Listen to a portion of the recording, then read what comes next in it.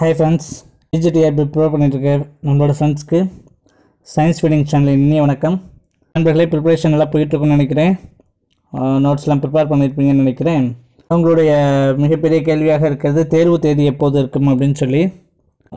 எனக்கான பதில் இதுக்கான அனுமானங்களும் உத்தேசங்களும் நிறைய உங்களுக்கு பதிவுகள் வந்துக்கிட்டே இருக்குது பட் அந்த விஷயத்தை நான் திரும்ப திரும்ப அப்படி இருக்கலாம் இப்படி இருக்கலாம்ங்கிறதுனால தான் அதை பெருசாக சொல்கிறதில்ல உங்களுக்கு. பட் இன்று உங்கள் தயாரிப்பில் ஒரு சின்ன உற்சாகம் கொடுப்போம் அப்படிங்கிறதுக்காக தான் இன்றைய பதிப்பு. தேர்வு தேதி நம்ம ஏற்கனவே சொன்ன மாதிரி தான். எட்டாம் தேதியிலேருந்து ஆக்சுவலாக டிசம்பர் எட்டுலேருந்து பாலிடெக்னிக் இருக்குது அதை கண்டினியூஸாக நெட்டு வாரக்கணக்கில் இருக்குது அதை தொடர்ந்து சென்ட்ரல் டிஇடி எக்ஸாம் இருக்குது அப்படிங்கிற மாதிரியான இதே தேர்வுகள் ஈடுபடக்கூடிய நிறைய தேர்வுகள் இருக்கிறதுனால மாநில தேசிய அளவில் இது புத்தாண்டை நெருங்கும் அப்படிங்கிறதுல எந்த மாற்றமும் இல்லை. இது திரும்ப திரும்ப எத்தனை முறை சொல்கிறதுன்னு எனக்கும் தெரியல. தேர்வு தேதி எப்போ சார் இருக்கும்? உங்கள் ஆர்வ மிகுதி எனக்கு புரியுது. பட் அந்த ஒவ்வொரு நாளும் உங்களுக்கு கிடைக்கிற ஒரு மிகப்பெரிய வாய்ப்பாக பயன்படுத்துங்க. தேர்வு எப்போது வேண்டுமானாலும் இருக்கட்டும். இன்னும் இன்னும் உங்களுடைய தயாரிப்பை வந்து நீங்கள் கூர்மைப்படுத்திக்கலாம். இன்னும் ஷார்ப்பன் பண்ணிக்கலாம். இன்னும் தெளிவாக நீங்கள் தேர்வை அணுகுவதற்கான வாய்ப்பாக தேர்வு தேதி தள்ளி போவது இப்போ பயன்படுத்திக்கலாம் நண்பர்களே. நண்பர்களே இன்றைக்கி நம்ம உங்களோட கலந்தாலோசிக்கிற விஷயம் என்ன அப்படின்னு பார்த்தீங்கன்னா நிறைய டிஆர்பிக்கள் நடத்தப்படுது நிறைய வாய்ப்புகள் கொடுக்கப்படுது. ஆனாலும் இன்னும் நமக்கான அந்த பணி நியமனம் கிடைக்கப்பெறவில்லை என்கிற மனநிலையில் நிறைய ஆசிரியர்கள் நம்ம இருக்கோம். நிறைய எக்ஸாம்ஸை கிராஷ் பண்ணி வந்துட்டோம். இதில் நான் எதிர்பார்க்குற வருஷங்களில் என்னோடய என்னோட நண்பர்கள் பல பேர் அது மாதிரி இருக்கிறதுனால தான் இந்த விஷயத்தை நான் உங்களோட பகிர்ந்துக்கிறேன். என்ன அப்படின்னு பார்த்தீங்கன்னா நம்ம வேலை கிடைக்கிற வரைக்கும் வேறு வழி இல்லாமல் தனியார் நிறுவனங்களில் வேலைக்கு சேர்கிறோம். தனியார் நிறுவனங்களோட வேலை காலப்போக்கில் நமக்கு அதை பழகிடுதா? இல்லை என்ன காரணம் தெரியல. அது ஒரு சூழ்நிலை நியாயமாக நம்ம அதை அதோடையே ஒரு போராட்டத்தோட வாழ பழகிக்கிறோம் அப்படின்னு தான் சொல்லணும். இது மாதிரி வாய்ப்புகள் கிடைக்கும்போது அதை பயன்படுத்திக்கணும் நண்பர்களே. அந்த தனியார் நிறுவனங்கள் நமக்கான வாய்ப்புகள் கொடுத்தது கண்டிப்பாக அவர்களுக்கு நன்றி சொல்லணும். ஏன்னா அந்த நேரத்துக்கான நமக்கு வேலை வாய்ப்புங்கிறது ரொம்ப முக்கியம் இல்லையா? ஆனாலும் நண்பர்களே அது ஒரு கூண்டு.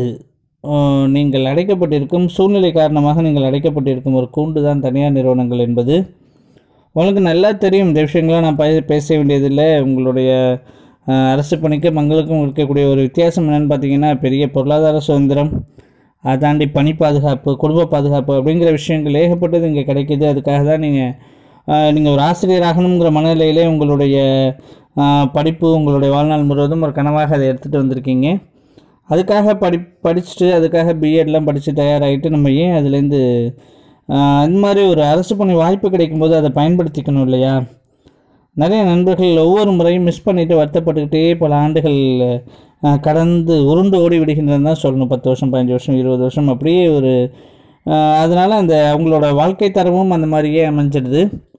ஒரு மன உளைச்சலோடு நமக்கு வாய்ப்பு கிடைக்கலைங்கிறதோடயே வாழக்கூடிய ஒரு சூழல் நிலவிட்டுருக்கு நண்பர்களே. அதை நம்ம தான் மாற்றிக்கணும் அதுதான் அது ஒரு கூண்டு. உங்களை அடைக்கப்பட்டு இருக்கிற ஒரு கூண்டு. சில பேருக்கு அது தங்க கூண்டாக கூட இருக்கலாம் சில பேருக்கு இரும்பு கூண்டாக இருக்கலாம். எப்படி பார்த்தாலும் அது கூண்டு தான். அங்கே ஒரு சுதந்திரம் கிடையாதுங்கிறது தான் நான் சொல்ல ஒரு விஷயம்.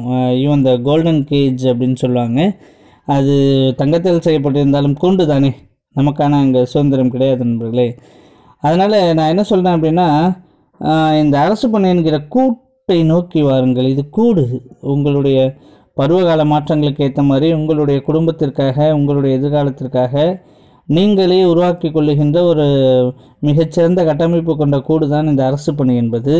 இது நம் நம்முடைய முழுக்க முழுக்க நம்மளுடைய சுதந்திரத்தோடு நாம் இயற்கையோடு சேர்ந்து வாழுகின்ற ஒரு பறவைக்கு எப்படி ஒரு கூடு ஒரு பாதுகாப்பானதோ நிலையானதோ அதுபோல் ஒரு நாம் சுதந்திரமாக வாழக்கூடிய நமக்கு பொருளாதார சுதந்திரம் குடும்ப பாதுகாப்பு பணியார் பாதுகாப்பு வழங்கக்கூடிய அனைத்து சூழல்களும் இருக்கக்கூடிய ஒரு பணி வாய்ப்பு தான் இந்த அரசு பணி என்பது. இது எல்லாமே உங்களுக்கு தெரியும். பட் இது ஞாபகப்படுத்தலாம் அப்படிங்கிறதுக்காக ஏன் இன்னும் நீங்கள் அந்த கூண்டை உடைத்து வெளியேறவில்லை என்பதுக்காக தான் நான் அந்த கருத்தை உங்களோட பகிர்ந்து கொண்டிருக்கிறேன் நண்பர்களே. அதனால் அந்த அரசு பணி கிடைக்கும்போது மிகப்பெரிய முயற்சி செய்யுங்க. நீங்கள் கொஞ்சம் வயது அதிகமாக இருக்கலாம். ஒரு சிறிய முயற்சி அதிகபட்ச முயற்சி என்ன செய்ய முடியுமோ அதை செய்து பாருங்கள். அதுதான் எப்படியாவது அதிலிருந்து வெளியாக வேண்டும். நம்மளுடைய கூட்டை நோக்கி நாம் நகர வேண்டும்.